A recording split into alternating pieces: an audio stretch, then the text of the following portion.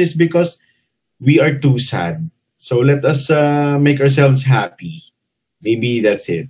Nood tayo ng, uh, nood tayo ng mga pelikula sa Viva Max. Makakaiwas tayo sa catfishing. Kasi busy tayo. Oo, kasi busy tayo. Now, we are far from danger. We are far from illegal uh, illegal actions. We are far from hurting ourselves if we are busy and if we are happy.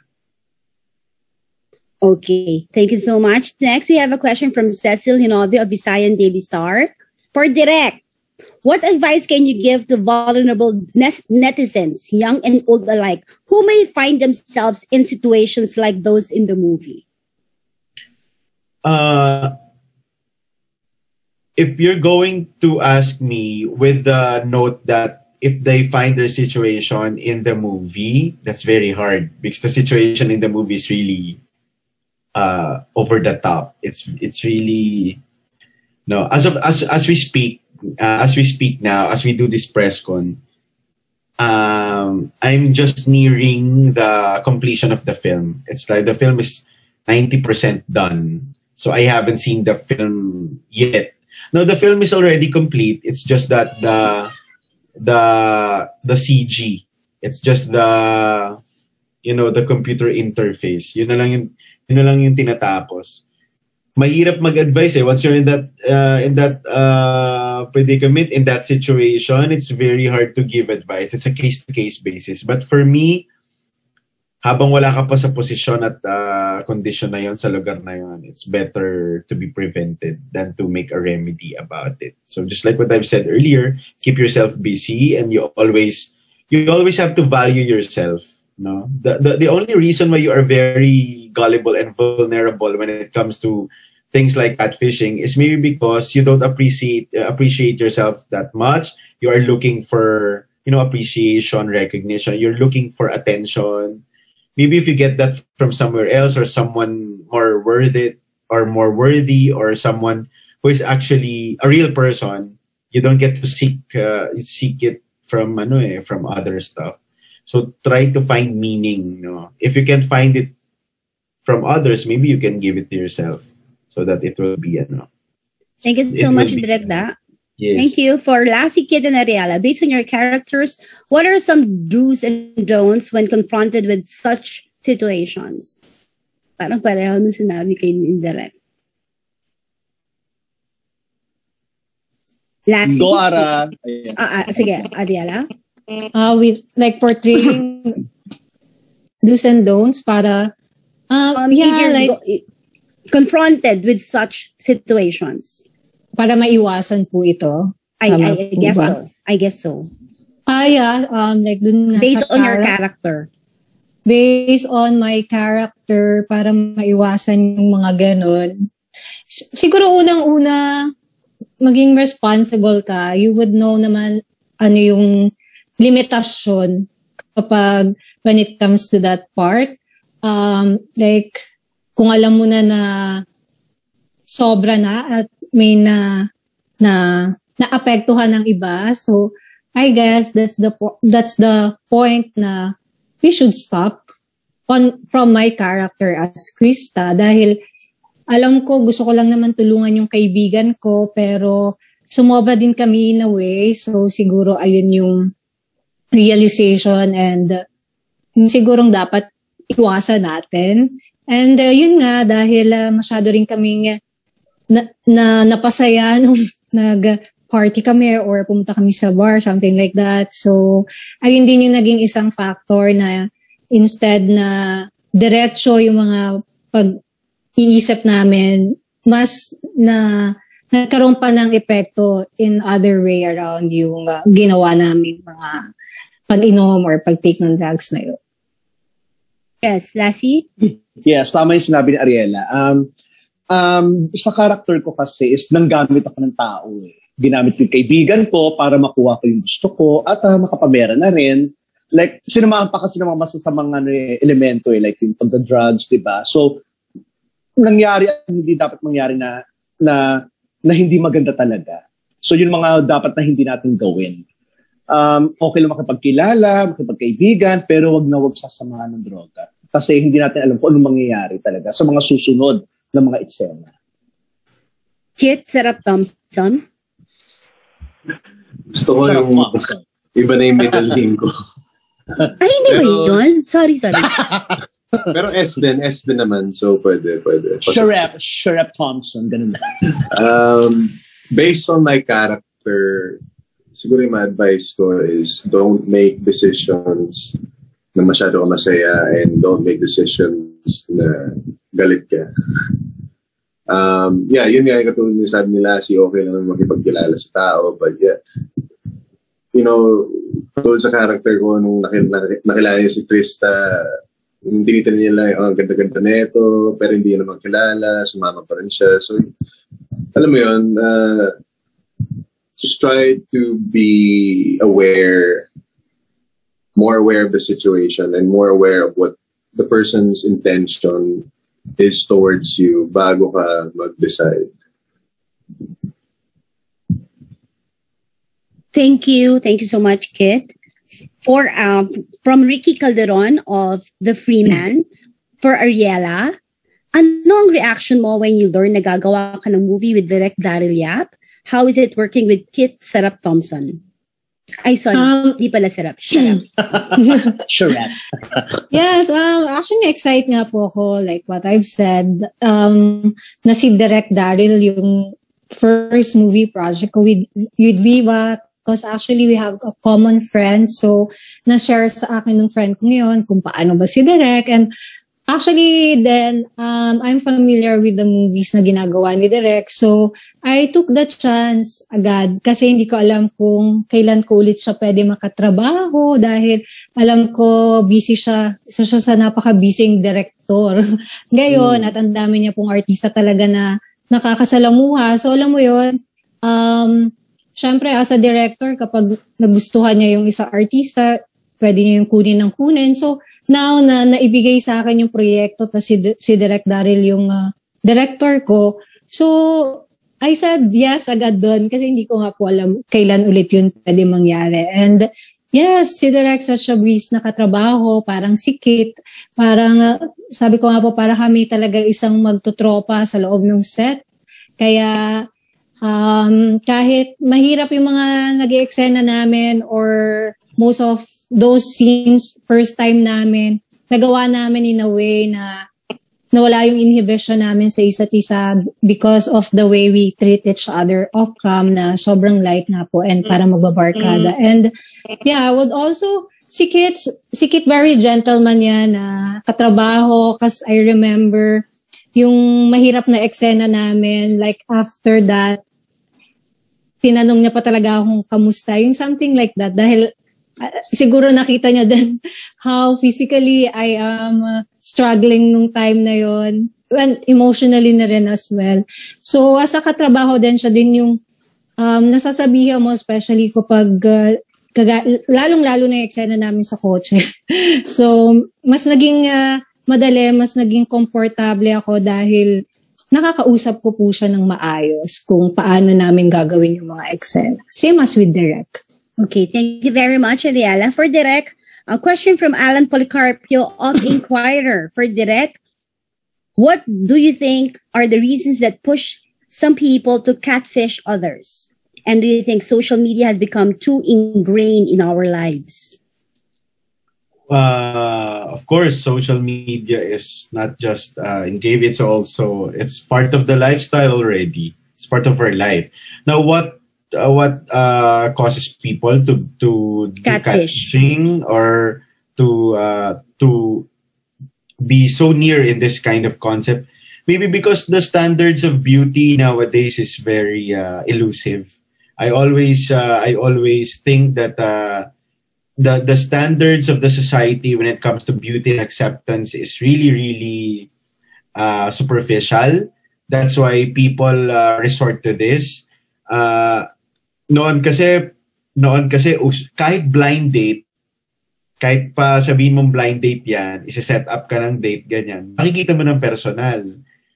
Ah, sa umpisa, hindi mo masyado magugustuhan, pero pag nakausap mo na while you're having dinner or anything, while you're ha- uh, dating, yung yung first impression, mawawala yun kung maganda ka usap, kung may saysay ka kwentuhan.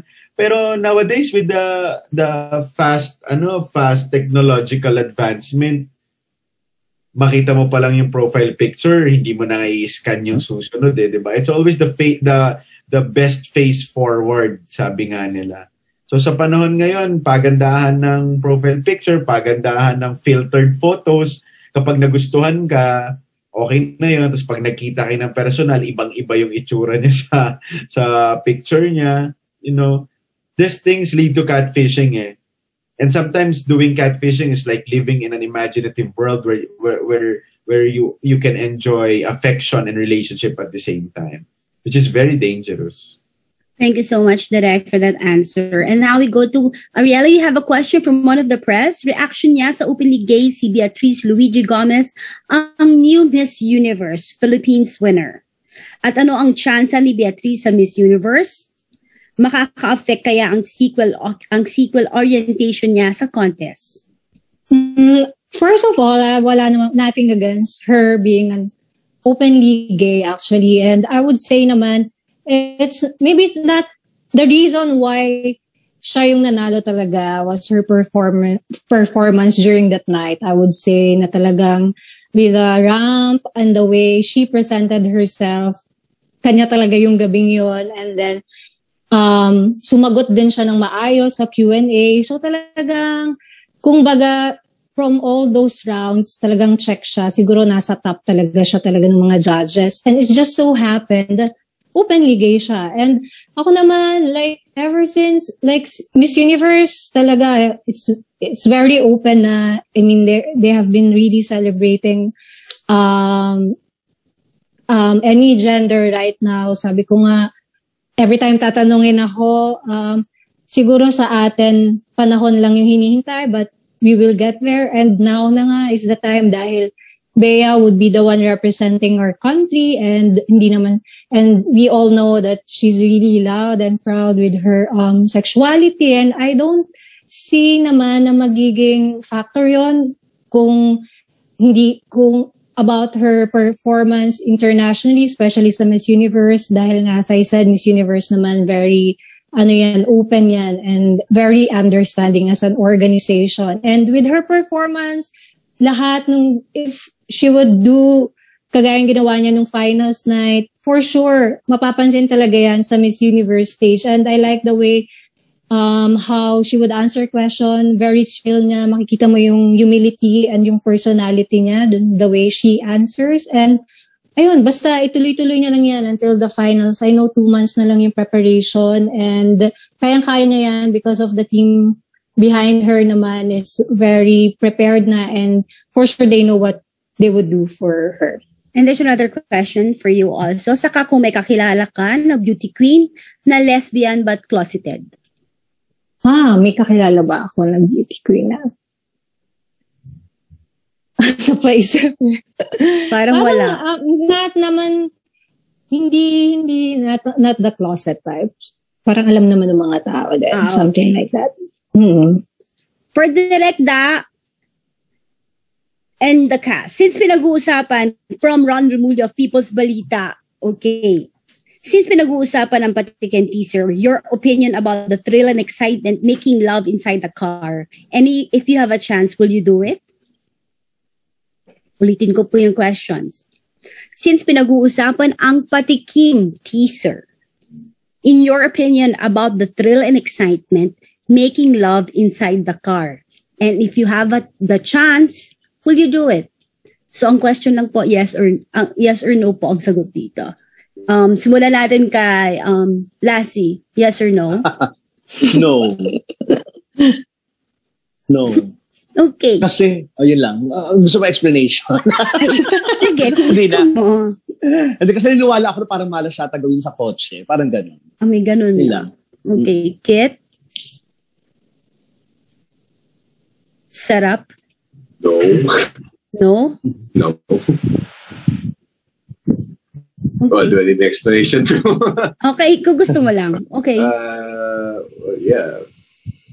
Well, not naman malas, but Mahaba ka kasi, mahirapan ka. Ano? maka... mahirap umano kumilos. Ano Yeah. na yun? Kay Yeah. Candy Pangilinan. I'm, I'm six feet tall, so it's hard. Anong it's hard? Oh, uh, everything. Okay. Ariela. Okay, bye. Ano? Nagawa Okay. ko na po sa film. Joke lang. no po. Okay. Direct na. Sagutin ko talaga yan. Eh kasi nakalagay for direct na in the cast. Sinusunod ko lang po, no? Kung bigay, kung bigay, kung bigay nung kasama ko yung kotse, why not? Oh. Ah, okay. Oh, May point, Lassie, may mag- point si Direk. Mag-iba oh, na ba yung sagot mo, Lassie? O kung bibigyan ka ng kotse, kapalit yon Oh. Oo naman, syempre. Diba? pa ba ako, di ba? Diba? Direct na, you have a follow-up question. Yes. There's a follow-up question for you. After two, Marco and Kit, na hunk, who's the next hunk you want to work with? And it seems fave mo, fave mo rin si Marion Honor. Are you preparing her for a bigger break? Akala ko hunk si Mario Honor. Hindi ko kilala. si Marion. Yun din kasi nakadugtong eh. So, Marco, I've worked with two Marcos already. Actually, three Marcos from Viva. Marco Gomez, who was launched with Silab of Direct Joel Lamangan. I've worked with Marco Gumabaw in Revirginize with Sharon Cuneta and Marco Gallio with Gluta and Ang Manananggal na Nahati ang Puso. And then Kate. So, hindi ko alam kung sino Marco yung dalawa. Basta yun yung mga naka-work ko. Sino yung susunod? Na hunk. Na Na gusto hunk. mo. Na gusto mo. Wala, hindi, hindi ko alam. Pero etong, yung susunod ko kasi sa SMP is Barong Badings eh. Ang kasama ko dun mga hunk talaga pero naging bading. Si Jerry Craval, si Baron Geisler, at saka si Mark Anthony Fernandez with Joel Torre. Yung susunod, yung kakatapos ko lang i-shoot, ilo-launch ng, Vi- ng Viva yung apat na pantasya ng ah, pambansang pantasya yung Heroic Beauties, ang kasama nila doon, apat na hunk din. Yun yung mga naka-work ko, yung apat na yun. Pero yung after niyan, hindi ko pa alam kasi alam ko kasama kita sa susunod ko. Baka ikaw na yung susunod na hunk, Candy pa. Wow. Baka, I don't know. I'm not really particular when it comes to people, especially with the, with, especially with the, you know, the physicality. The bosses suggest eh. I just say go or maybe we can we can fix another one for the title. No, I don't have any targets when it comes to actors and actresses. Even kahit pa sa hunk, ganyan. Eh, nahanapan ako ng ganon. Hindi, hindi ko naman alam eh kung sino. Depende siguro sa role. Yan. Okay, thank you, Direk. Meron ka daw plano for ano, Marion? Marion kasi is like, ah Marion kasi is a good friend. Marion, ganito ang kwento. Alam to ni Kit, alam to ni Lassie, tsaka ni Ariela. Magte- Magchat, lang ako dyan, magte-text lang ako. Marion, kailangan ko ng music na ganito. Agad-agad, agad-agad. Mabilis pa sa alas 4 yan.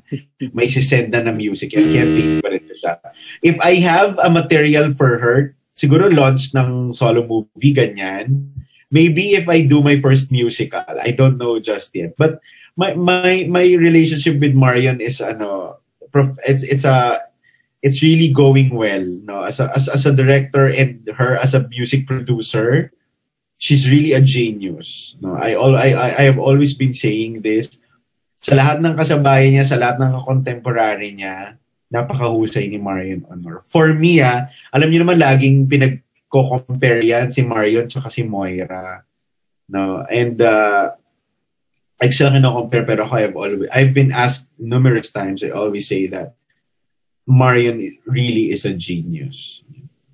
Okay, thank you, Direk. And now, yun na po, um, pagtatapos ng ating uh, digital press con. So may we ask the cast and the director to invite everyone to support the movie Sarap Mong Pati na ipapalabas po this October 15 only on Viva Max. Unahin na po natin kay Kit Sarap Thompson. Kit, please invite everyone to watch and support your movie.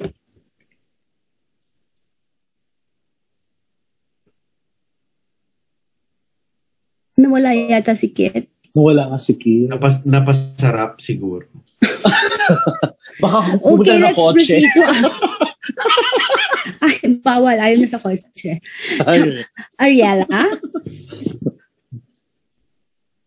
Ay naka-mute. Okay, um, una-una po, I want to say thank you sa ating mga friends from media and press for gracing our digital conference. And I'm inviting everyone po, three days na lang, malapit na malapit na po, sarap mong patayin, exclusively streaming on Viva Max. Siyempre, kasama ko po dito Bob G. Bailey, Tart Carlos, Marion Honor, Kit Thompson, and Lassie Marquez, directed by Direct Daryl Yap. Kaya sana po, subaybayan niyo po to. I mean, uh, abangan niyo po, tatlong tulog na lang. At ako po excited po kung mapanood po ninyo this newest sexy psycho comedy film na handog po sa atin ng Viva. Kaya po, kita-kita po tayo October 15. Yes, Lassie? Yes. Una sa lahat, maraming maraming salamat sa mga nandirito ngayon sa ating ah, conference na ito. At syempre, maraming salamat po sa lahat mga sumusuporta sa pelikulang ito. At again and again, hindi ako magsasawang uh, sabihin sa inyo na napakaganda ng pelikulang ito. Of course, ini-invite ko kayong lahat this coming October 15 na po ang sarap pong patayin sa Viva Max. At syempre, directed by Direk Daryl Yap. Andiyan din po sila Miss Marin Honor, Job, eh, Bob G. Bailey, Tart Carlos, Miss uh, Krista ng Sino ating si voice. Job? Ano naman Oo nga eh. Bob. Ay, ayoko sabihin direct. O kaya kinorek ko. Ayun. Siyempre si Ara Arida and of course si Kit Thompson. Ayan. At ako po, Lassie Marquez.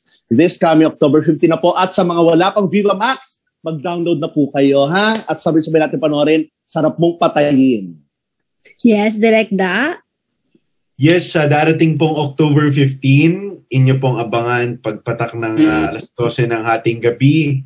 Ang ah, sarap mong patayin ang pelikula po na pinagbibidahan nila Keith Thompson, Ariela Arida, Lassie Marquez, kasama rin po dito si Marian Honor, Bob G. Bailey, Tart Carlos.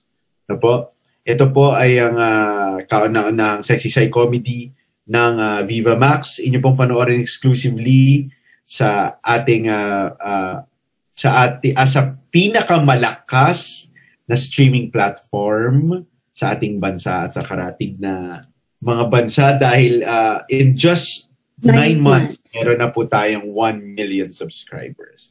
So congratulations to everybody. Siyempre dadagdag din ang mga makakapanood ng Sarap Mong Patayin dito. Maraming maraming salamat po sa support at pagtangkilik, lalo na sa ating mga kaibigan sa press at media. Thank you po very much. October 15, Sarap Mong Patayin. Maraming maraming maraming salamat po sa lahat po nating media and blogger participants na sumali po at sumama po sa atin ngayong hapon. For updates on Sarap Mong Patayin, like and follow